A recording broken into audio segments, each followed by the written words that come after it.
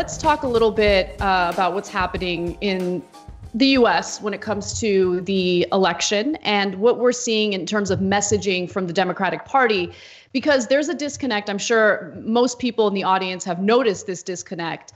Um, but it's becoming increasingly frustrating because uh, this messaging is obviously in mainstream media and it just completely ignores the fact that Democrats, the establishment, centrists, moderates, they have created a situation in which it doesn't matter to them whether Trump wins or Biden wins, because at the end of the day, they're going to win. Their stock portfolios are going to win. And I think their actions um, really, really highlight that. So, um, so moderate Democrats have been aggressively bullying Bernie Sanders supporters to not only support Joe Biden by voting for him, but to endorse Joe Biden. And I think those are two different things. Endorsing Joe Biden is making the case for why you think he's the best candidate, why you think he should represent this country, why you think he should represent you. Voting for him because he's the lesser of two evils is something different, right? So uh, Briahna Joy Gray, the former national press secretary for the Bernie Sanders campaign, made it clear that she will not endorse Bernie Sanders. DSA did the same.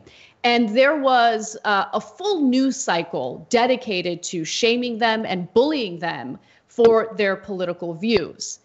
But what I would ask is that the Democratic Party take a good hard look at itself and have a moment of self reflection if, and I don't believe this to be true, if they claim that beating Donald Trump is the top priority.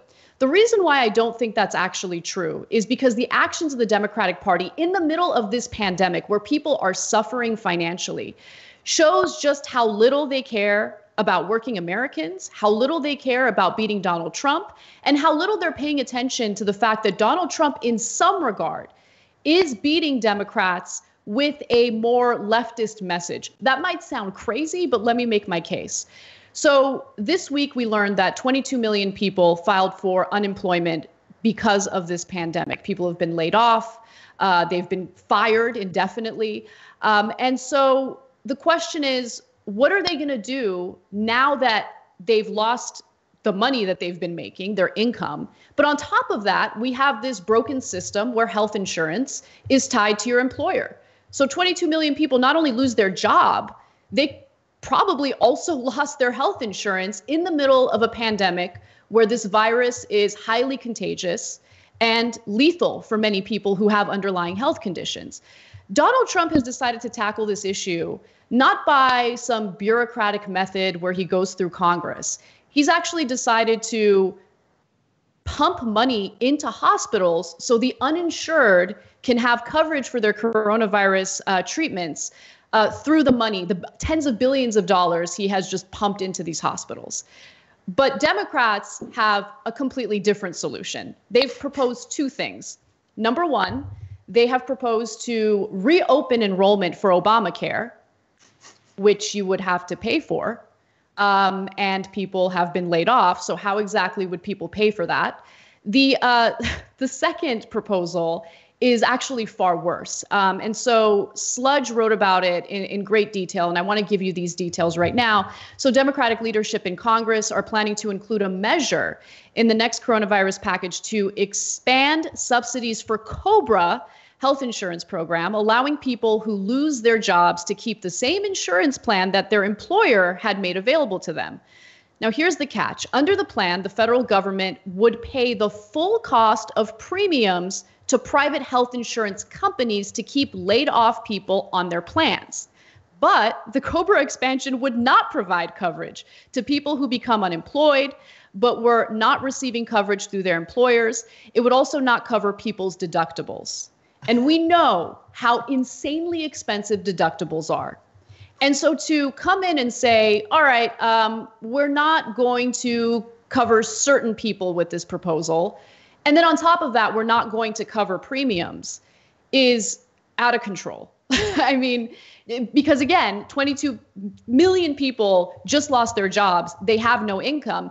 And working Americans were already in a precarious situation prior to the pandemic, where nearly half of Americans couldn't even afford a $400 emergency. So, what kind of solution is this? It's absolutely ridiculous.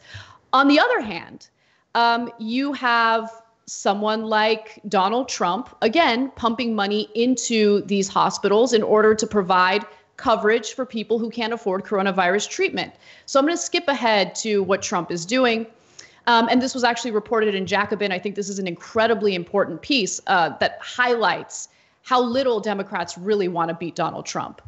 Rather than lean on Obamacare to cover patients, the Trump administration opted to directly cover the cost of COVID 19 treatment for the uninsured. And um, again, that's a simple, unbureaucratic way of ensuring that people get the care that they need. Now, I want to be clear about one thing Donald Trump is not some leftist. We all know this. Donald Trump cares about Donald Trump and only Donald Trump. He is thinking about his reelection, plain and simple. And he knows, you know, based on what happened in 2016, that positioning himself as someone who is more to the left compared to the Democratic candidate plays well because people have been suffering economically for decades and it's getting worse and the pandemic has only, you know, uh, again, amplified that for a lot of people. And so what does the messaging from the Democratic Party say, not only when it comes to the policies they're proposing, but more importantly, um, by the stuff that everyone sees, everyone consumes on social media. Well, let me give you an example. Here's Nancy Pelosi showing off her gourmet ice cream collection um, in the middle of a pandemic where 22 million people have been laid off. Let's watch. Uh, Speaker Pelosi, what have you found? What are you going to share with us from your home? Chocolate.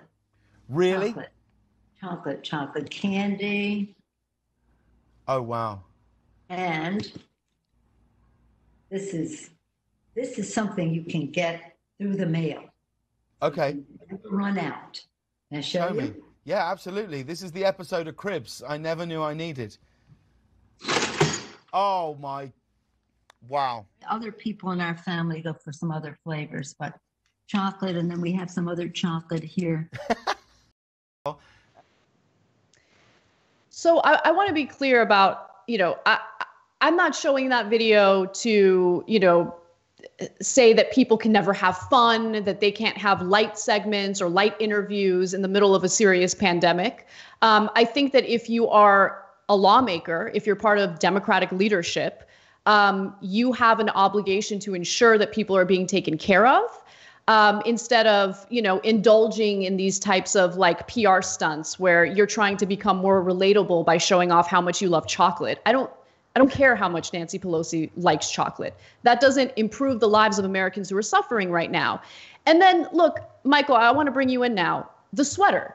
Like I know maybe I'm the only one who's like hyper obsessed with what she's wearing there, but like the yachting sweater as she's showing off like her beautiful basket of gourmet chocolate and then her giant sub-zero fridge which cost each one of those by the way cost $12000 she has two of them um, you know she opens that to show off her ice cream collection again i don't care if people have those luxuries necessarily but i do care when these are the same people who are just completely bullying the briahna joy grays of the world for not endorsing joe biden because they think that Briahna Joy Gray has all this power to prevent Biden from getting elected. No, Nancy Pelosi and people like her are what leads to the Democratic Party losing. They led to Donald Trump winning. And I actually think they're okay with that because fundamentally, Donald Trump does not really challenge their power. Donald Trump doesn't, um, you know, create a situation in which they're worried about their stock portfolios. And Donald Trump does provide an opportunity for Nancy Pelosi to position herself as the resistance, but it's all optics. Ripping up a speech is not real resistance.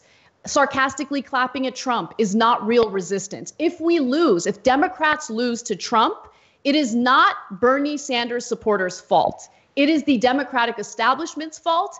And I think that they're actually fine with that. Yeah, I, I well, first of all, uh, just the other day, I recorded an episode of Potted Out with our mutual, really good friend Nando Vila, where he's rewatching along with his great co-host Entourage, uh, and we talked about an episode of Entourage, and it brought me back to this whole cultural terrain of like 2003, 2004. And Nancy Pelosi definitely looks like she's auditioning for an extra role in Wedding Crashers of like the sinister grandma who Vince Vaughn has like a weird crush on. Um, and she's into it. So yes, I definitely noticed that sweater. I think that's totally valid. Um, yeah, I mean, I, this is another thing that we've talked about. I think it's really important. It, Bill Barr at the DOJ has put in a recommendation. I don't know the state of it, but we've covered it to allow for indefinite pre-trial detention in the times of emergency. It's an incredible threat. We know the whole apparatus of ICE and uh, terrorism uh, towards migrants and refugees and asylum seekers put in place under Stephen Miller in this administration. By the way, these are all the concrete and tangible reasons to understand that obviously Trump needs to go. It's not really that complicated. But on the other hand, this very big melodramatic discussion of Nazism and totalitarianism has really allowed people that are under no threat uh, and will have you know plenty of time to pontificate on cable news and be in Congress to basically wrap themselves in melodrama and not do anything. And another thing I want to note, not because I care about the hypocrisy, but just because we need to be real about power positions. You know, Briahna Joy Gray can be hounded or various, you know, Twitter personalities or whatever, which, you know, again, let's be frank, we don't have that much power. There's some power, there's some influence, but, you know, that can this can be a major object of focus of of sort of harassing people about not only supporting Biden over Trump, which you know is my practical position. I won't hide the ball on that. But like to do it enthusiastically or pretend that Biden is something other than what he is or pretend that the Democratic Party is something other than what it is. Whereas, you know, uh, Joe Manchin, when he said during the primary that if Bernie was the nominee, he absolutely would not support the nominee. I don't even think he even committed to supporting another Democratic nominee. That's reported as, you know, an important message from the moderate ring of the Democratic Party, even though, of course, we just know that, you know, Joe Manchin and Kyrsten Sinema are just extreme corporatists who like to play to the far right, uh, you know, even more so than kind of average corporatists like Schumer or whatever. So, you know, I say that again to just really point. I mean, it's worth noting the double standards, but it also should reinforce where we're at in terms of suction and leverage. And I would say for, you know, people like uh, Mehdi Hasan, like hectoring and moralizing is not going to get the job done. If you want to actually persuade people, um, do it in a way that is, is I would say, frankly, a lot more, you know, real and humble. Mm-hmm. Mm-hmm. Yeah, I mean, definitely. I, I, I think that there's just far too much attention. I think you're right. Um, the Bernie wing of the Democratic Party does not have the power to get Trump reelected, right? And I think that the bullying and the hyper focus on these voters and, and pressuring them to vote for Biden. But for some people, I think that it's genuine. I, I think for Mehdi Hasan, it's genuine. But I think for the Democratic establishment, it, it's about distracting and, and messaging in a way where people are just like focused on uh, the least powerful people when it comes to the outcome of this election, right? So behind the scenes, they can do what they've always been doing. So I'm going to go down the the laundry list of uh, issues that you mentioned. I mean, ICE, for instance. Yep. You think that Nancy Pelosi is a resistor when it comes to the actions that we're seeing at the border right now? Are you kidding me?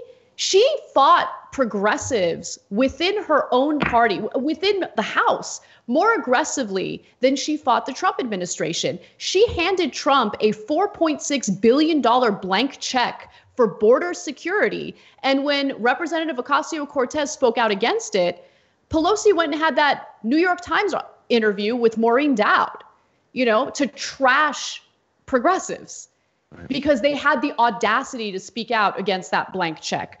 Uh, one other thing that's been happening uh, through this pandemic that hasn't gotten much media attention, Democrats haven't done anything about it. The EPA announced that there will be no oversight of corporations during the pandemic. They can pollute. Uh, you know, our, our, air, our water, whatever they want, and they don't have to worry about any of the rules or any of the regulations. A story broke yesterday about how uh, there will be no oversight when it comes to the amount of mercury that that makes it into uh, our environment. It's just disgusting. Yep. And yeah, you're absolutely right. I mean, William Barr wants to detain people indefinitely. Where's the resistance when it comes to that very real criminal justice issue? It's just nonsense. It's absolute nonsense. And, you know, the more I look at the actions of the Pelosi's of the world, the more angry I get when they just hone in on progressives and they fight the progressives while all of our civil liberties, civil rights, uh, you know, all of that is being dismantled by the Republican Party right now? What kind of real resistance have we seen from them? And what kind of real proposals have we seen from the Nancy Pelosi's of the world to help people who are really struggling? Instead, we get that video, which, by the way, gets used by Donald Trump because of course it does. Donald Trump understands optics, he understands marketing. So let's go, yeah, perfect. So Charlie Kirk had tweeted Nancy Pelosi sits in her 7.5 million dollar San Francisco home in front of her $24,000 fridges bragging about her stockpile of $13 a pint gourmet ice cream, all while 22 million Americans file for unemployment and funding for small businesses runs dry. Shameful. Now again, caveat of course the republicans don't care about that. Of course charlie kirk doesn't care about that. He doesn't care about the 22 million people who just filed for unemployment. Um, they i mean they'll fight uh, more aggressively than anyone to maintain the system we're living under. But then donald trump quote tweets that because of course he does. And this is the kind of stuff that gets the donald trumps of the world elected because he positions himself as someone who's morally superior when it comes to looking out for the working class period. You're 100% right. And then, of course, and then the demand on us becomes why are you not defending Nancy Pelosi? It's not my job. Not it's my not job to defend job. Nancy Pelosi. Yep. It's not our job. I like those. So I liked. I think uh, Brendan from the Majority Report pointed out that the the Nancy Pelosi meme that has not happened yet is her washing her hands to get rid of Corona, but like doing one of her fucking claps That'll be like the definitive democratic resistance answer to Corona. You have a lot of people in the Democratic Party who are purely in politics for symbolism and they don't care about the consequences of anything else. And that is never going to be reconcilable with a materialist project. Absolutely. It's the optics of resistance. It's not true resistance. Um, but I do also want to note that there are uh, some Democratic lawmakers who are proposing excellent legislation. Of course, you have the Bernie Sanders of the world, but um, you know, Ro Khanna, Rashida Tlaib, uh, they are fighting for a $2,000 a month universal basic income for six months um, and then people would also get some financial assistance for up to a year after the pandemic. And that's to ensure that people really do get back on their feet and are able to provide for themselves, for their families, uh, to get their small businesses in order. Uh, there was a report about how 20% of small businesses are expected to shutter permanently as a result of this pandemic. The $350 billion that Congress had set aside to help small businesses has already run out. And it's just, it's shameful to see where the priorities are, where they've been. I mean, we've known this. Uh, but the examples are just like really starting to pile up. And I just think it's laughable and shameful to put all of our focus and, and energy on shaming people who refuse to endorse a subpar candidate who has done terrible things legislatively in his political career. The major reason we're here. I agree with you completely, Ana.